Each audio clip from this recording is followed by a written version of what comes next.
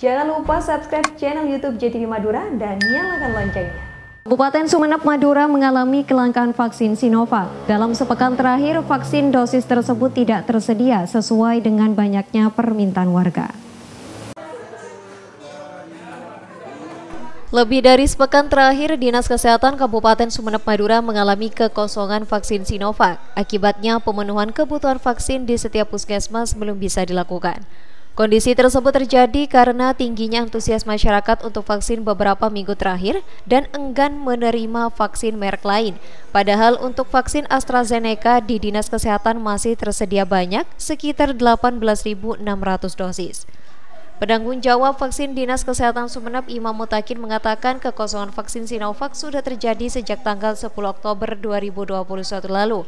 Meskipun di setiap puskesmas masih tersedia, namun jumlahnya yang sedikit tidak dapat memenuhi kebutuhan masyarakat. Uh, stok vaksin di Dinkesnya kosong untuk Sinovac. Kalau untuk AstraZeneca itu ada 18.600-an dosis, 18.600 dosis. Tapi kebanyakan AstraZeneca ini terus terang masyarakat uh, menolak sudah dicoba di Talamu kemarin katanya itu ada komplain ke ke perawatnya supaya jangan diberi AstraZeneca. Diberi Sinovac ya? Karena dia sudah kena AstraZeneca, sudah diberi AstraZeneca, dicoba oleh Talamu, ternyata ya keluhannya banyak gitu Jadi saya jadi Talamu itu tetap minta Sinovac. Keluhan masyarakatnya apa Pak? Ya panas, ada yang gatal-gatal, itu.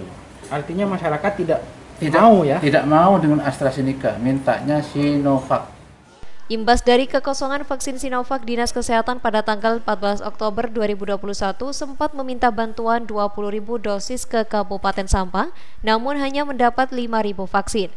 Ribuan dosis vaksin dimaksud juga belum bisa memenuhi permintaan setiap puskesmas yang perharinya minimal mencapai 1.000 dosis. Wildan Lipu Prasasti, CTV.